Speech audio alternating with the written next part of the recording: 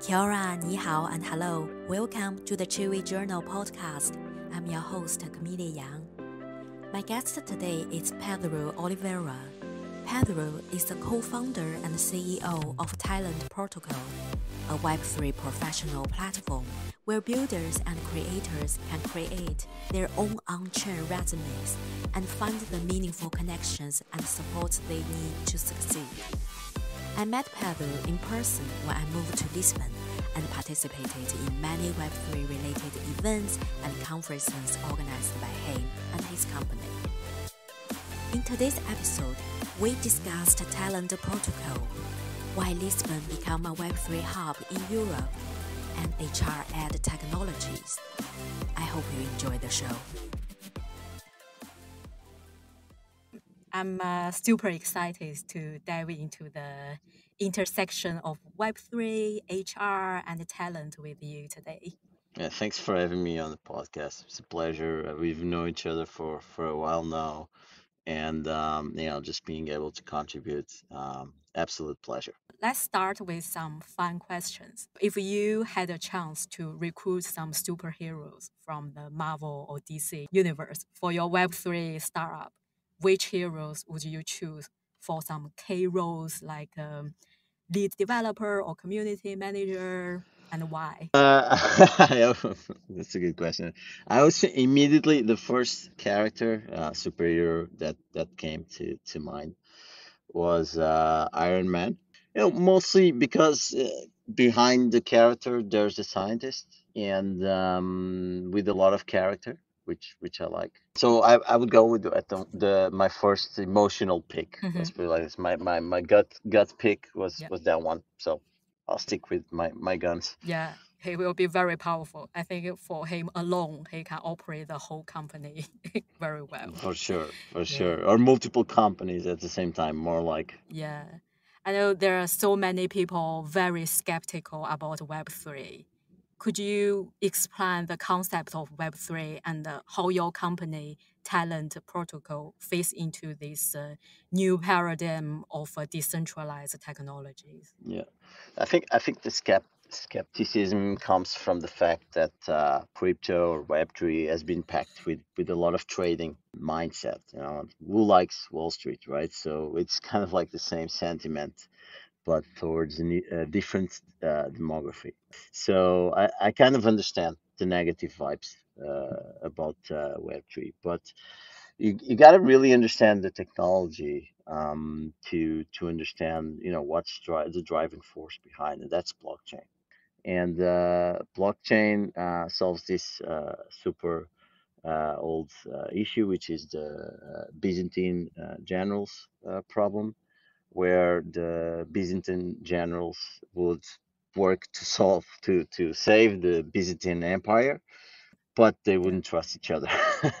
and that's a problem because then the empire wasn't safe. I mean, at some point it ended, but um, it was always an unsolved problem until uh, blockchain came in uh, and created through technology a way for people to trust each other uh, based on a distributed system. Uh, you know, private keys, public keys. My background is computer science, so it's it's not something that is super new for me um, but the technology itself, from from my perspective, is fascinating. The uh, bringing in this distributed systems with with economy uh, concepts, it's just uh, and and there's this mysticism. We were talking about super superheroes before. There's this mystic behind it uh, with uh, you know the first uh, paper on on Bitcoin. Um, peer-to-peer uh, Bitcoin, which was like, uh, who did it? Nobody really knows. Uh, there's this mystic behind it that I think Mhm. kind of fuels the whole thing in a way. Some people, at least. But uh, I think it's uh, to answer your question. Like uh, we we've had different evolution waves uh, for the web, for the internet as we know it. The, the first one uh, was a slow internet. Not not many people had access to it. The sites were very clunky. The utility was limited. Okay, uh, but still was still great, you know. And then we had a second wave, or we could call it Web two, where the utility was there, you know, whether it was gaming, whether it was e-commerce, uh, whether it was social, it was just there. And I think Web three is the evolution of that um, by decentralizing the, the, the powers of the the, the previous two uh, internet uh, evolutions. And um, I think with uh, with Web three, we're still in the very early days. We're still figuring out utility. Yeah. But I think it makes uh, um, not only is an evolution of, of the internet, but I think it's an evolution of society. We both me and you, we we have been exposed to Western cultures and uh, currencies that are more or less stable, uh, stable currencies. Even though you travel a lot more than I do, but I'm more based in Europe, in, in Lisbon in specific, and uh, we we are kind of privileged. Mm-hmm. We we got a currency that is uh, more or less stable. But you know, I, I deal with uh, people from all over the world, uh, especially South America, Africa, Asia, through Talent Protocol, where their uh, regional um, context is very different. Uh, they they don't fully trust institutions that govern themselves Mm-hmm. that govern them and and much less the financial institutions as well. So and then web3 uh, is a transformation not only of the internet but uh, of society in, in general. For them the utility is clear because web3 is not an opportunity it's a need on the day-to-day basis. So yeah i think i think uh, with talent protocol we're, we're trying to support talent anywhere. Uh, we're trying to help talent succeed and and and find uh, fulfillment find their purpose uh, in life especially those building in in web3 and we have multiple ways we've been doing this one of them you've been part of which is the the, the Talent town House, house yeah. scholarship program where we bring people from uh, all over the world to to attend their first Web3 hackathon or conference Mhm. and, and just understand more about uh, this um, ecosystem and you know bring opportunities to, to them. I think we've done a good job at it. Uh, we've brought uh, Yeah. dozens of people.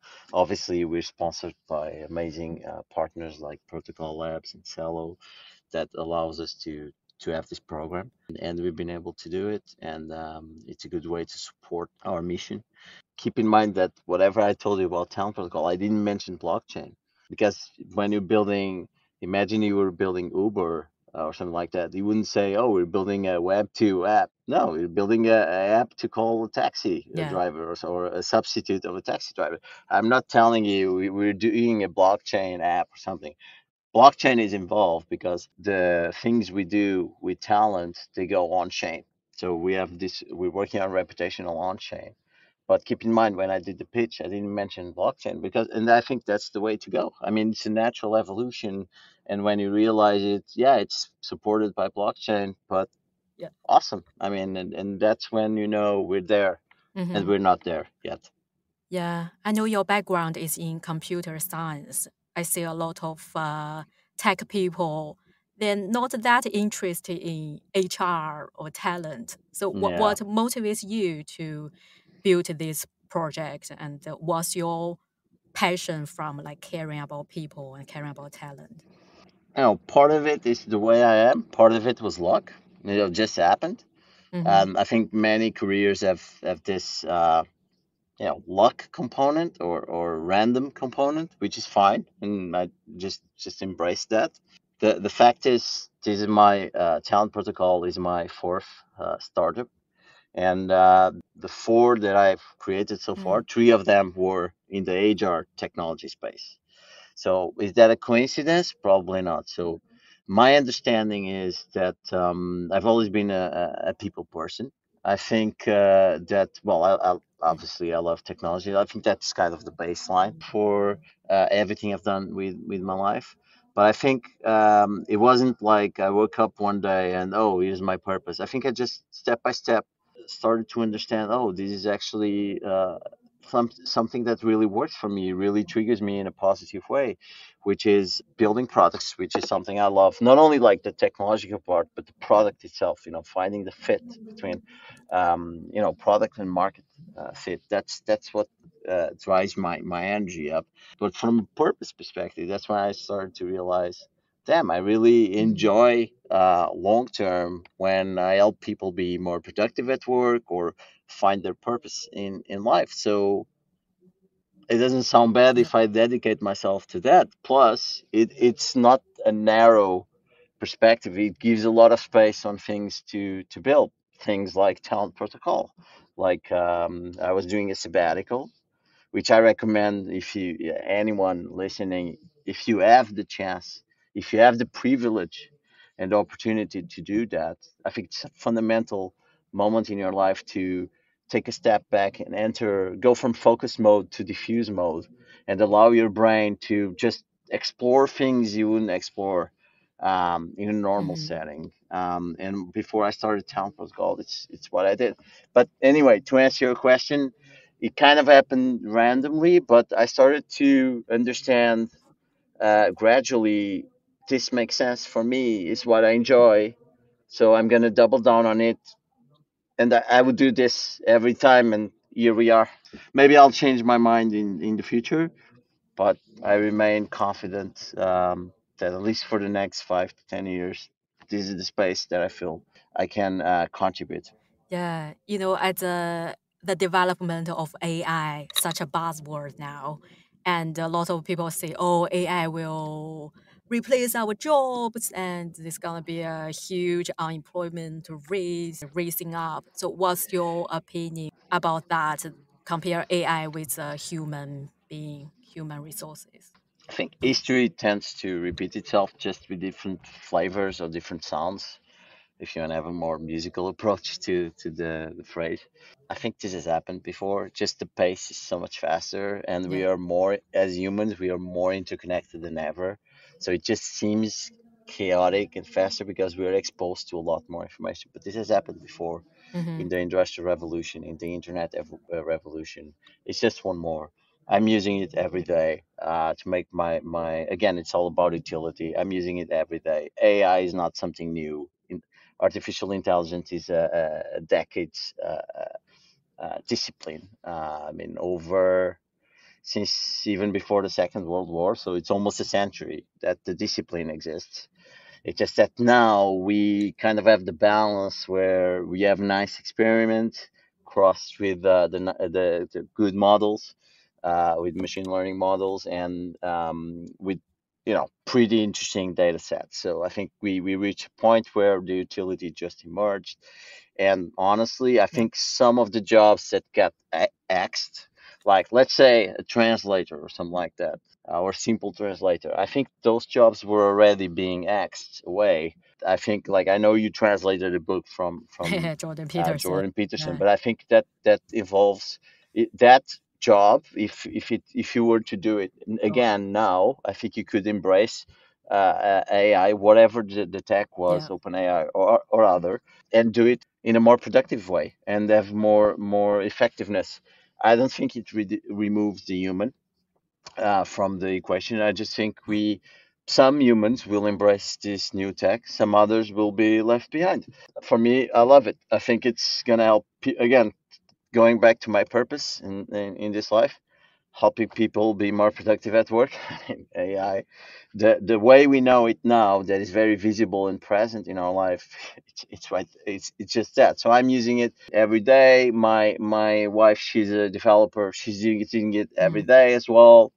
So very happy with with uh, where we're going with this.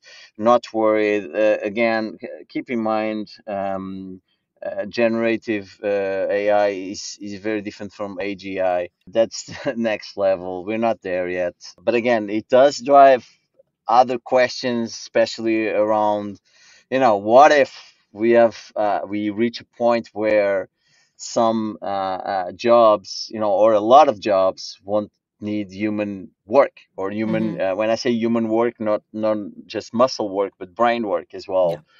uh, are, is our society ready for that? I don't think it is. And I think ours, uh, we need a new social, I was going to say social smart contract, but just social contract uh, that uh, allows people to, you know, uh, I don't like the, the term UBI uh, because it's very, it, reduces humans to, to basic income. It's like, it's only thinking about income. I'm thinking more about, it's not a Mm. positive term in my, my opinion. It's more about, it should be one day we'll eventually I'll I'll, I'll be blunt uh, uh, about this. I think one day we'll live in a society where being unemployed is hmm um is cool. You know, like it's, almost like uh, taking a sabbatical is actually quite good. Oh, oh, you're taking it. Uh, you're unemployed. Awesome. I mean, what are you gonna learn next? You know, like uh, have you been having have you uh, have fun? Where did you go last three months?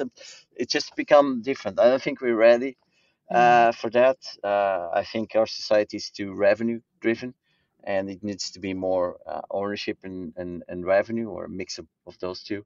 But anyway, it's just a very strong, uh, very long uh, philosophical conversation to to have. But all in all, to answer your question, AI, bring it on. Let's do this. Uh, it helps us be more productive at work. I'm very excited. Uh, I recently listened to a podcast. Kevin Kelly is on Tim Ferriss' podcast, and they talk about AI won't replace human, but just to, to finish the task. Not replace the jobs, but to replace the task. So they can help human finish those uh, unnecessary tasks that uh, take up a lot of time. So we can more focus on doing some creative projects which is uh, such a good thing for human beings. We don't need to do this repetitive, for example, like a translation. You know, it took me like at least half a year to translate Jordan Peterson's book. I think with uh, Chat GPT now, I probably only take one month to do it. That's awesome. That's awesome. And then the other five months, you could be focusing on something Mhm. else. You know. I can do something more. Exactly. So that that's the, the the the whole point. I think you know sometimes I think we humans we don't challenge ourselves. We're not ambitious with ourselves. We have a very powerful brain. Yes, it does. It's it's limited because usually sequential, only one thought at a time. It's it, people who have uh, when I say people who have are doing two things at the same time. It's not. It's only one at a time. Uh, but I, I look at tools like GPT. You know, it's almost like having a second brain. You know, like uh, so. I'm very I'm very bullish on on on on AI and and as you said, I mean even today, I mean, I, I I write a lot of a lot of stuff for either internal or external, and even for legal decision making and fiscal decisions, I'm using GPT. Obviously, you know, if there was a lawyer in this conversation, say, "Oh, but take it easy," because yeah, sure, sure, of course. I mean, of course, obviously, but but yeah, it does help. It does help. Uh, be me be a lot smarter. Yeah, exactly. I see so many Italians move to Portugal in these recent years.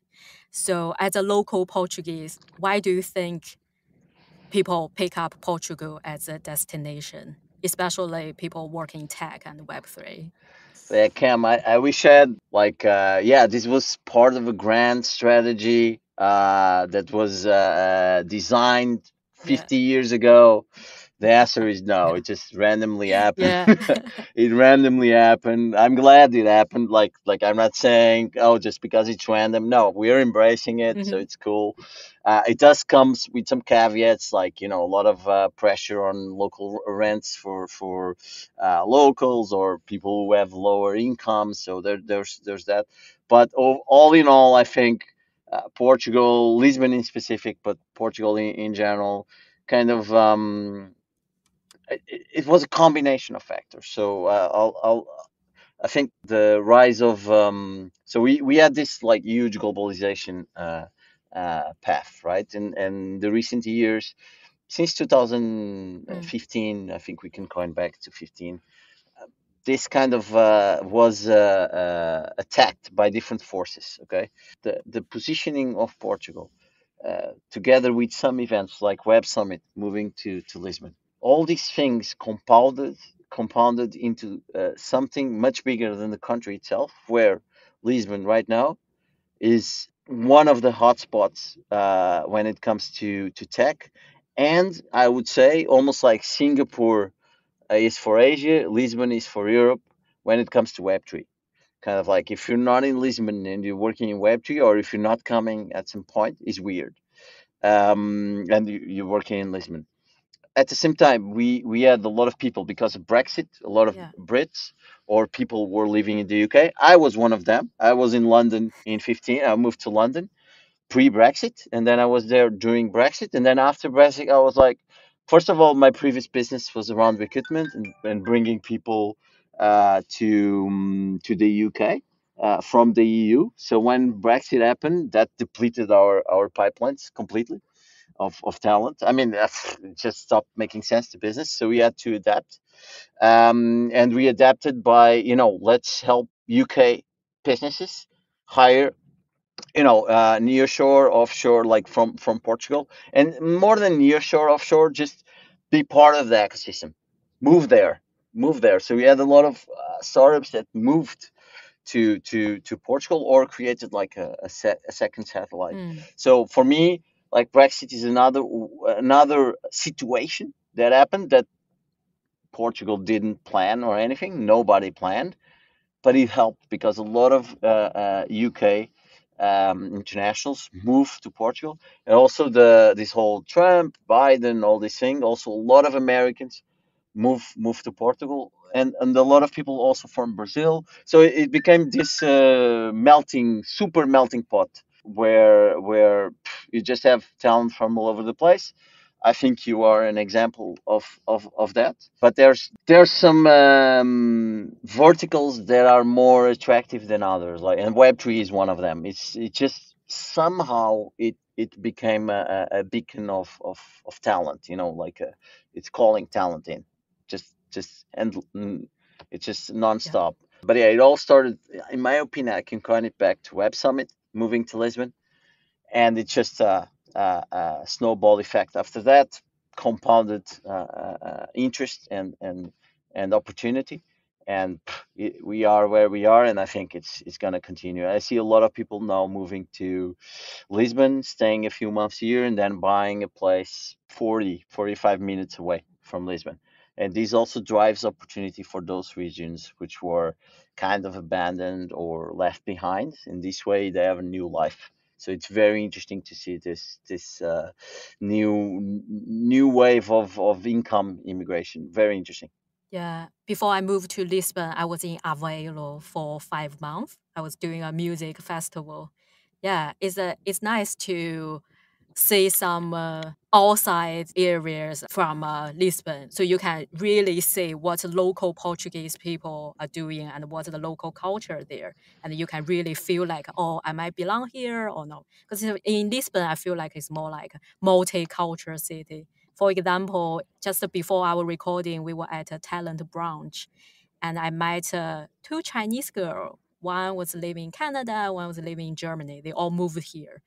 I never see so many like Asian immigrants in other European cities, like in the event, especially in tech and uh, female. So I feel like Lisbon is such a multicultural and diverse city. It helps that it's a safe place uh, as well. Uh, mm-hmm. Local population is, is calm and uh, it, the culture is, is, is calm as well. Again, we need to pay attention because all these uh, changes can create some sort of uh, backlash. But all in all, I think we have a lot of interesting people moving in. Uh, sometimes they are uh, working to companies abroad, which mm. is fine. Uh, a lot of Portuguese people are working to companies abroad, so it's the same.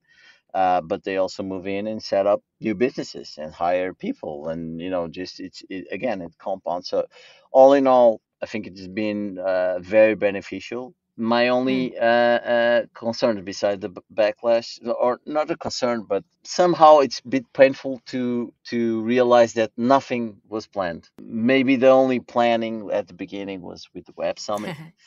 uh, you know that negotiation period with with uh, Paddy from from Web Summit mm-hmm. was, was, I think it took a little bit. I don't I don't remember how that process went. That was kind of planned, but I don't think there was a macro plan. Uh, mm, again, I'm yeah. I'm down with that, but uh, could have been better, better plan. Yeah. Can you tell me a little bit about your team structure? Because you are very into HR. So when you recruit your team, how it works? and how it's a structure? So with with our team, it's, it's a good question. So when I started Talent Protocol, I had to learn a lot of new things. Um, and when, when I mentioned what's different about Web3 is not only the evolution of internet, but society in general, work as well. And so, for instance, you can go on my profile on on Talent Protocol, and you can uh, see that I, I want to step down yeah, from CEO. the CEO role mm. in in the next three to four years, right until 2015. Hopefully, I do a good job, or we collectively do a good job, which allows me to to to step down.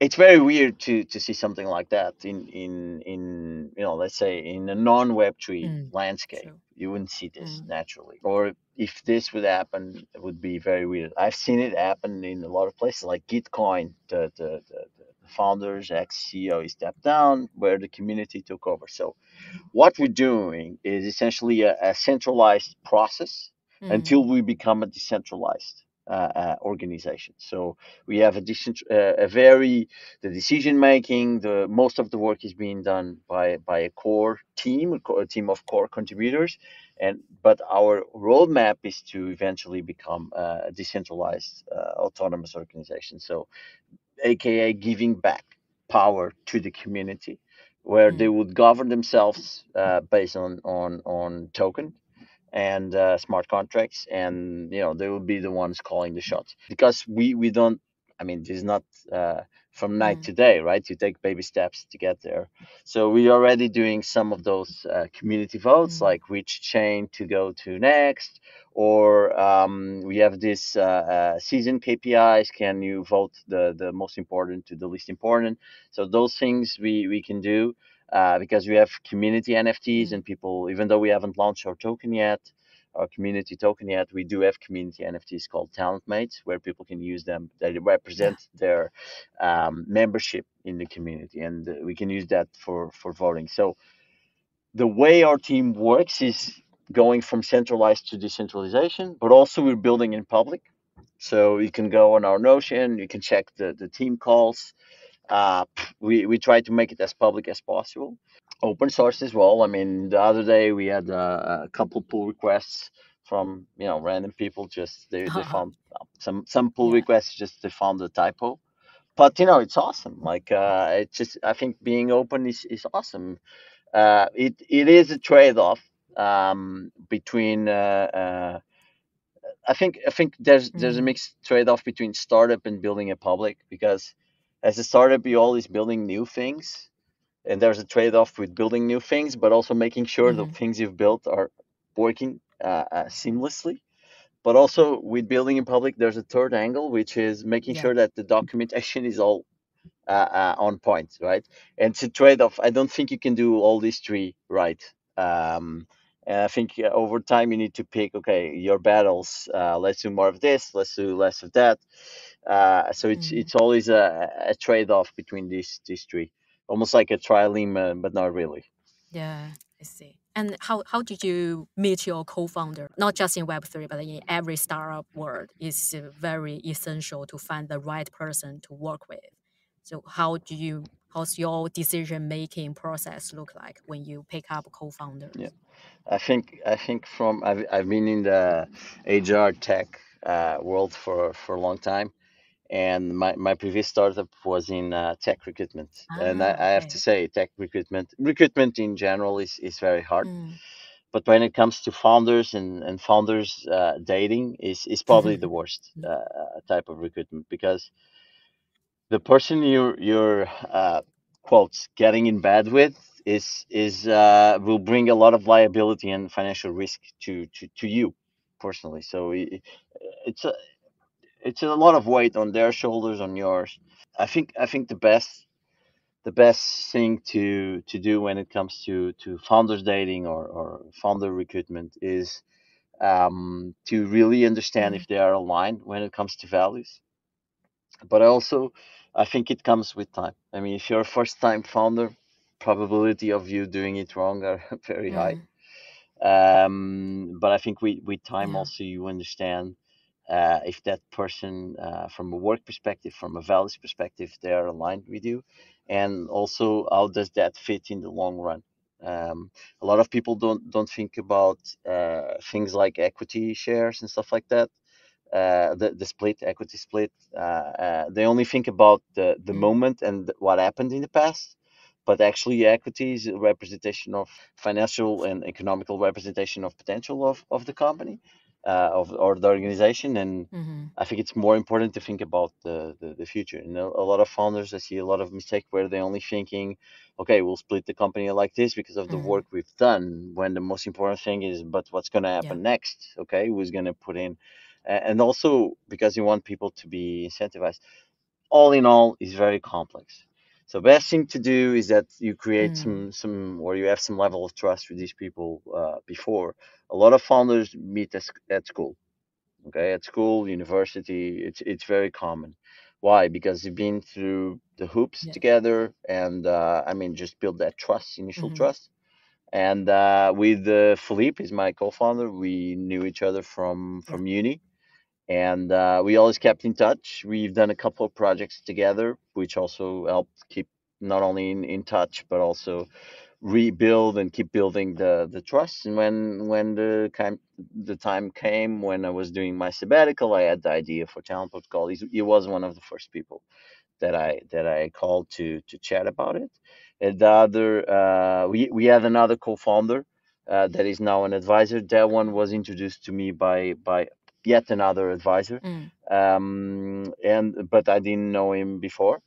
Uh, and the the um, Francisco, which which is the CTO and co-founder uh, Yeah. today, he, um, we worked together in my previous startup, so I knew him for for a, for a long time and uh, always kept in touch with him, and the trust has Yeah. been built. So this my two uh, uh, co-founders right now. They they are people that I've built trust before.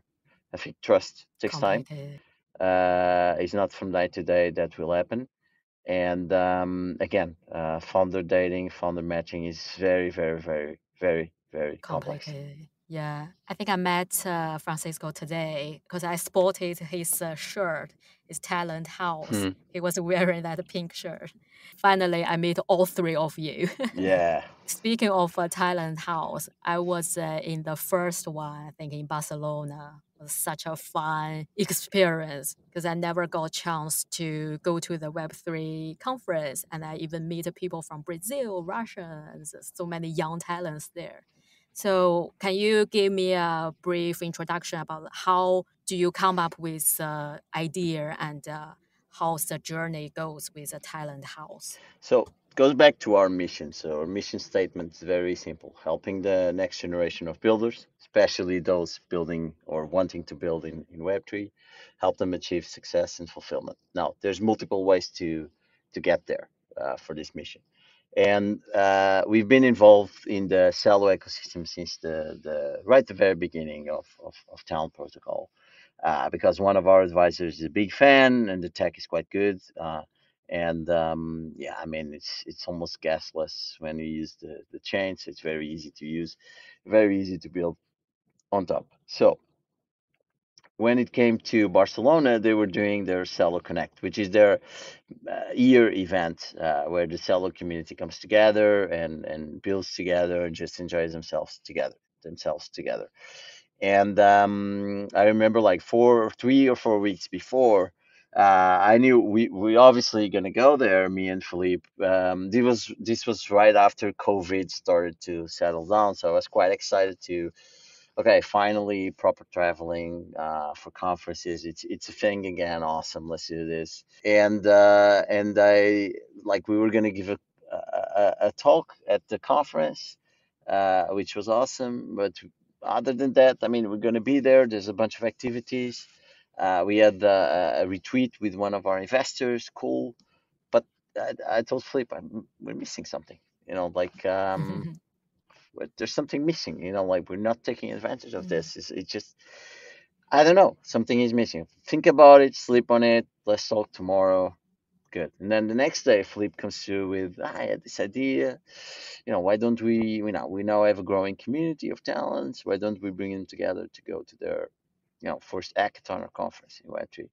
And uh, I'm like, that's that's a great idea. So um, how do we do this? So in thr- long story short, in three weeks uh, three four weeks we set everything up where we got the partners in um, you know Celo Foundation obviously companies like Ari NFT Fly Wallet and others that supported us in this process we did it collectively with other uh, startups and communities which was amazing and then we brought a bunch uh, a bright bunch together uh, in um, in Barcelona to live together. Well, we rented an Airbnb. We like a, quite cool one, I guess.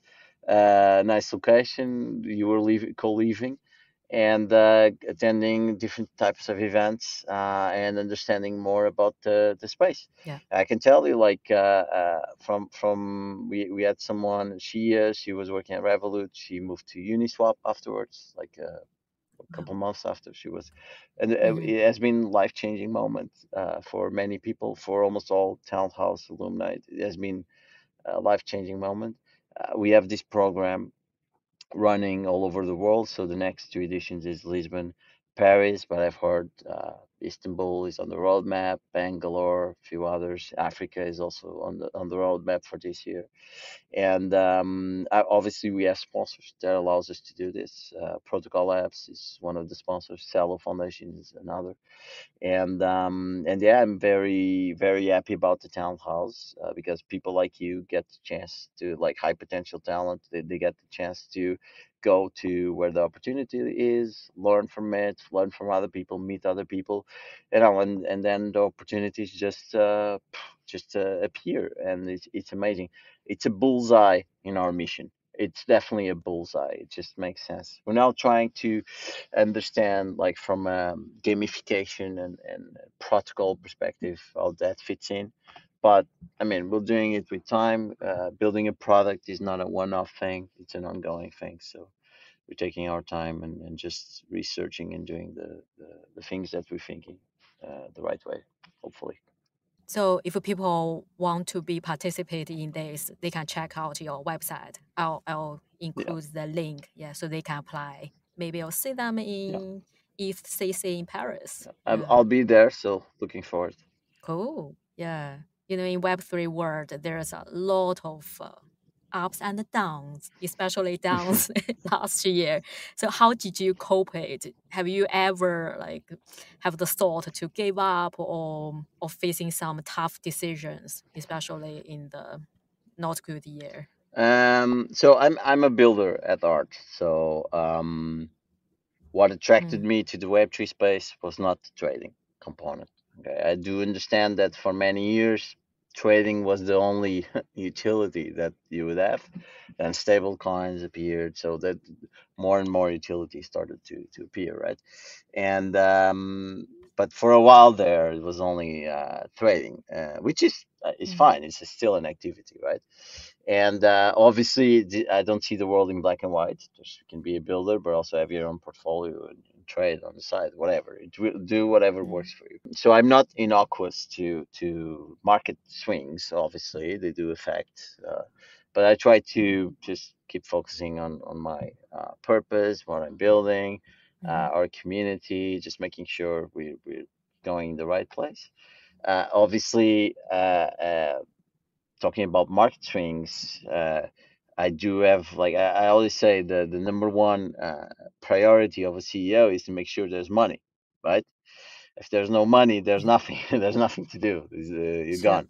Keep You- the company running. Yeah. Exactly. So number one, like obviously a CEO has other priorities, but I would say like without money, there's there's no other priorities. They don't even think about it. So it's almost guaranteeing the the the, the present in order to guarantee the future. And uh, so basically, uh, when all these things happened, I had to keep an eye open on on this and protect our community treasury. So that's part of my job. Mm. I think I've done a good job at it. We were able to to safekeep our treasury, uh, especially when it came to the Luna crash.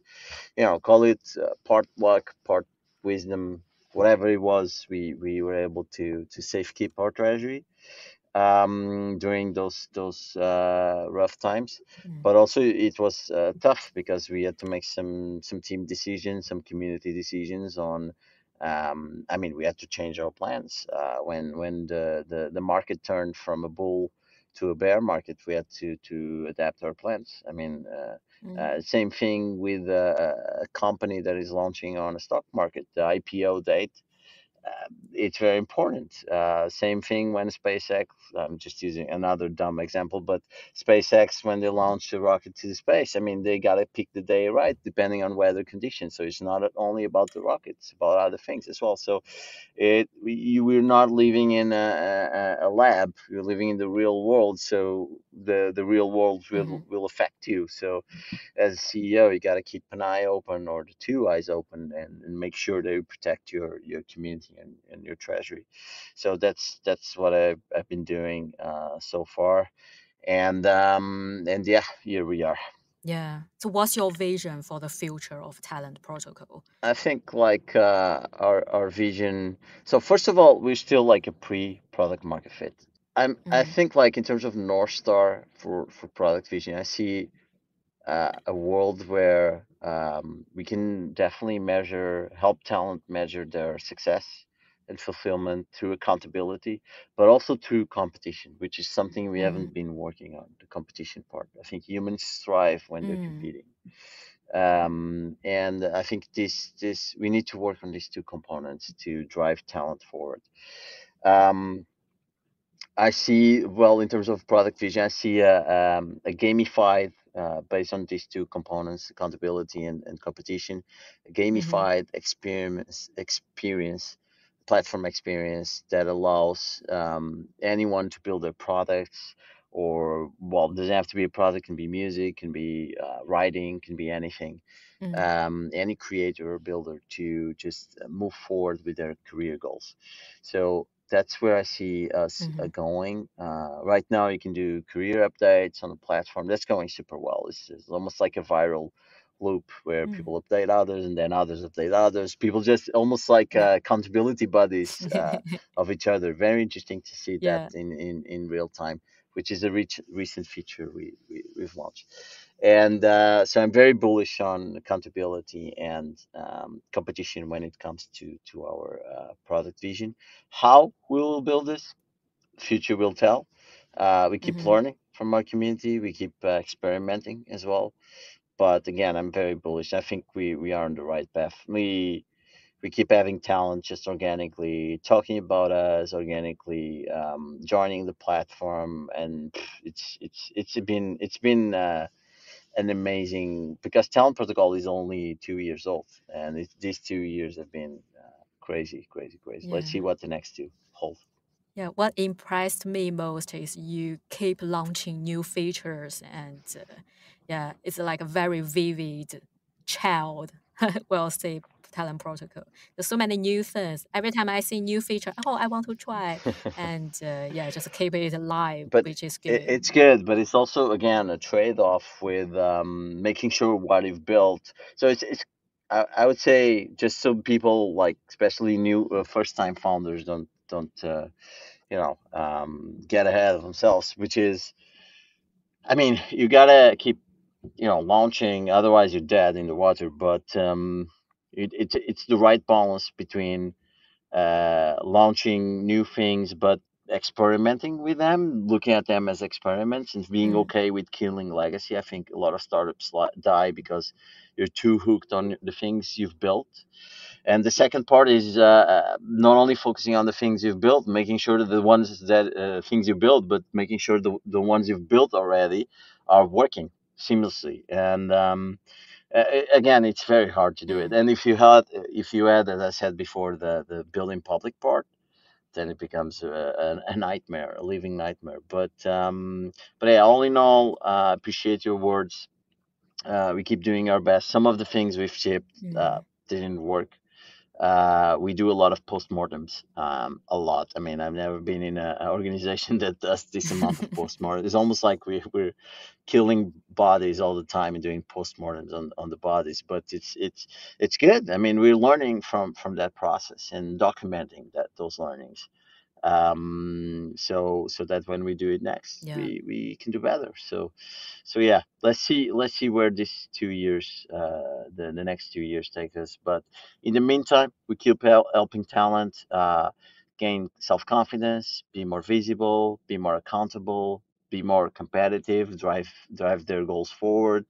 So i think um we're definitely helping uh, a lot of people and that's that's yeah, going back to my purpose uh uh, bullseye on my purpose, on my personal purpose.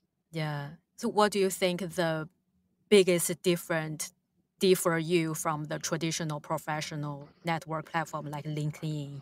Yeah, I think I think uh, LinkedIn. Um, we, by the way, we have a great relationship with LinkedIn uh, innovation team. They they have obviously they're looking into Web3. Probably they're now more focused on AI, uh, but there were a lot of fo- they had a lot of focus on on on Web3 some time ago. But I think like uh, from an experiment uh, experiment uh, point of view, uh, our platform is future thinking. It's accountability thinking. Theirs is more like about present and past. Um, they built a recruitment machine basically. So uh, you're the data. They're monetizing your data for uh, recruitment.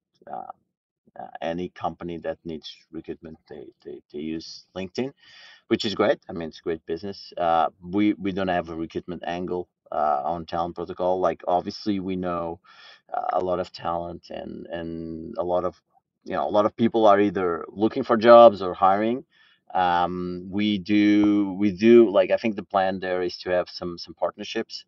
Um, and LinkedIn could be a partner um, to to help with that. Okay, because we don't want to focus on on that component on the recruitment. Uh, uh, recruitment is uh, uh, is quite hard and low margins and, and, it's very hard to do it right. I mean, no one has been able to nail recruitment um, 100%. It's very hard because it involves humans analyzing other humans and that makes things very very complex. And i think ai if ai solves that i mean then i would say okay maybe we'll be out of jobs uh, all of us because that problem right there like that would be that would be fascinating to to to watch. Maybe we're closer than than i think uh, which is great. Um so so yeah i think that's that's it yeah. Yeah. So apart from talent protocol you are also part of uh, DKnight like a event platform to connect with local Portuguese Web3 projects and people. So can you tell me more about uh, this one? Like how do yeah. you come up with that with this idea and uh, how it works? So actually, it's a very good pre- prelude to what I want to do with with Talent Protocol uh, about my own role because on on DeNites I was part of the leadership team until uh, early this year, uh, but then I stepped down because my my role was done pretty much. So with I'm still a member of the of DeNites, proud member. Um, got my NFT membership card, and uh, basically D, nights started out as what we were talking before with Portugal being so attractive to everyone and every organization and, and Lisbon in specific. And when it came to Web3, it was this times uh, 10. Uh, and uh, we were like, damn, you know, all these events happening in Lisbon. This was like two years ago. Uh, all these events happening in Lisbon, ETH Lisbon, Solana, uh, uh, you know, Checkpoint, uh, mm. all, all these events happening at mm-hmm. the same time. We're like, damn, it's like, let's do something during this this period of time, but do it differently. Yeah. Uh, join the local startups and and just do events to you know onboard people into Web3 and just chill together. And we came up with this concept of DeNites, decentralized nights, um, where we would have like uh, from 7 to 11, 7 p.m. to 11 p.m. Uh, would have uh, um, we would host events and would have everyone chipping in uh, some money. So, and we did it. The, the first year, two years ago, was, uh, I mean, the, the, there was a, the leadership team was organizing everything. Everybody chipped in. Uh, it was amazing. I mean, uh, uh, to to see the the community come together mm-hmm. like that. After that, we were like, mm-hmm. well, what if this was more like a DAO where DeNites DAO would fund would fund decentralized would fund communities uh, who want to organize uh, Web3 events. And that's what we did. So my main job as part of the leadership team there was uh, fundraising. So I fundraised, uh, I fundraised over 100k for the DAO, mm. um, which supported a lot of events during the the, the next one year, a year and a half and um, and then when like we mm. did a bunch of them in, in Lisbon, Porto, Madeira, Braga, so all over Portugal. Mm-hmm. And then when that was done, uh, I was like, uh, I I talked to the other leadership uh, uh members. I said, I think my job is done here. Like uh, uh, that's where I'm strong, and I, I want to give the the room to someone else to take over. Paulo, which has been in DAOs for a long time, Paul Fonseca, he, he accepted the challenge.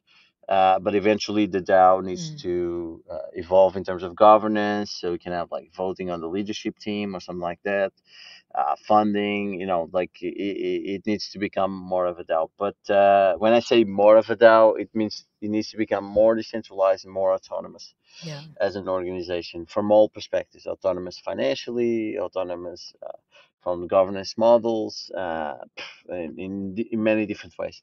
But uh, all in all, it's been amazing. We've brought uh, thousands of people together. Uh, people who didn't knew anything about Web3, they're like, "Oh, this is actually cool." They even do parties, you know, like, "Oh, nice." Um, Mhm. it's just such a Party like locals. exactly, and such such a chill environment where like you don't even feel the pressure. You're not going to a workshop or anything. Maybe sometimes we did a panel before, or something like that. Just if that's if you really want to go a bit deeper, maybe you can have like some some learning po- uh, components before but uh, yeah, we started to test different things as well. Sometimes we would have a co-work day followed by a party. So it's just a chill environment, get people to to make real connections and and get into Web3. And yeah, I think I think we we, we were able to to deliver that. So you can go on dnights.com and, Mhm. and and check it out. Yeah, and uh, it's also good for newcomers like me, so I can meet a lot of local peoples and learn some Web three knowledge as well. Yeah, Yeah. yeah, yeah. So, what's your advice for young people who want to step into the Web three world? What's your big three advices for that? Uh, you know, step one is uh, set up an account on Talent Protocol. start building your network of supporters. Start to build up that self accountability. I think Talent Protocol is, is creating a nice experiment for for that. Okay. Uh, second of all, don't don't be afraid to apply Mm. for for multiple grants that exist uh, out there. Uh, and third, uh, to to go on Mhm. on events and hackathons and just get building. Um, don't worry about too much about what you're building. Just ship it. Just show it. The more you show to more people, the better it is. Even if it's Mm. uh, pardon my French, even if it's shit, uh, it doesn't matter. Uh, you're pu- you're just the fact that you're putting out there, exposing yourself is is 100x more than many other people. So um, I hopefully that becomes the standard. Uh, and uh, and and yeah, so I think those three things uh, would be um, more than sufficient to you know ambitious uh, undiscovered talent to to just resurface to surface and and and get noticed Yeah, because you mentioned you probably will switch to ed- education tech in the future. yeah that's So that's my next yeah, pet so so how will you prepare this journey, and what gets you most excited about uh, this space? I think I think education has always been around the corner for me. Like uh, being in HR Mm. tech, it's always there. It's that thing that it always connects, whether it's recruitment, whether it's what we're building on Talent Protocol with all this belief economy, belief economy around talent. It's always there. You know, it's always been there. Now I'm a father, and I think this kind of changes things a little bit. At least it brings more skin in the game for me. Um, I started Mm. just exploring the the educational. Uh, tooling, solutions out there. There's very interesting stuff being built, right? And um, what I want to do, you know, uh, post Talent Protocol is just take some time off, do a sabbatical, Mm. and this sabbatical will probably be focused on, you know, um, couple of technologies, whatever it is. Then in two, three years' time, just go deep. Uh, but also is um, focusing on a vertical perspective on this edu tech, so ed tech um, uh, Mm. component. So it's kind of the crossing between whatever technology I think uh, is fundamentally uh, fundamental for me to to learn on a deeper level, but also um, going deeper in this vertical. I think uh, the sabbatical I did before was quite successful uh, in the sense that I Mm. started something new. I allowed myself to go on diffuse mode, so I want to do the same again. Allow myself to go on diffuse mode, hopefully more than three months this time. Just learn about the field and then go go Yeah. in. I think it can. I've I've seen a lot of solutions. I think I can execute better. Some of the things, some of the things I love, I think maybe I can execute better. But I want to give me the space, the mind space to learn and I want to give, uh, uh, you know, I just can give me. mm, It's not like uh, I, I didn't work my ass off. Like I worked Mhm. my ass off for this. Yeah. I give my, myself the opportunity to go into diffuse mode, learn, but having this focus in in mind. So that's where it's coming from. Uh, the the the going into this uh, space, which is HR tech. I look at it as HR tech as well. It's not the same, but it's it's in the field of you know helping people find their purpose. I mean, working with kids is very interesting, very very interesting. That they they're in the transformational moments of of their their lives and their their brains are developing so it's it's ripe for uh, um, you know helping them uh, educate themselves i i, I don't want to go into how to do it i have a lot of ideas every day i just want to take time learn and then go at it again Yeah. Okay, last question. You mentioned you're a father now. So what's one big lesson you want to pass on to your child? Yeah, yeah, yeah. That's that's uh, that's a good question. Um, I have I I'll whenever I I get a, a question in in this context, um, I have this this uh, uh tile at home. Uh, you know, Portuguese thing, especially in Lisbon, you have the the buildings with tiles, Oh yeah, yes, um, tiles. and Yeah. you paint the tiles Uh-huh. and stuff like that. So I have one at home because y- you have these these phrases, right? You write on the tile. So Ah, one of the phrases that I have there to remind me so it's not it's not like I wake up every day, I look at the phrase. It's not that, but it's there. It's there. It's an important thing for me. It it represents a belief, and the belief is that uh, life is hard if you're soft. So Mm. I think that's the biggest thing I want to pass to my my my you know uh, my legacy is life is hard if you're soft. So um, try not to be soft most of the times. Um, try to make your life easier in Yeah. sense by not not being uh, uh, soft you know this can have multiple meanings i think for me as a meaning uh, for my kids will Mm. have a different meaning whatever the meaning is uh, the fundamental thing is if you don't know anything about it it Yeah. definitely will get harder for you Thanks for sharing that. And uh, thank you for very much for your time. I'll see you soon. all right cheers thank you so much cam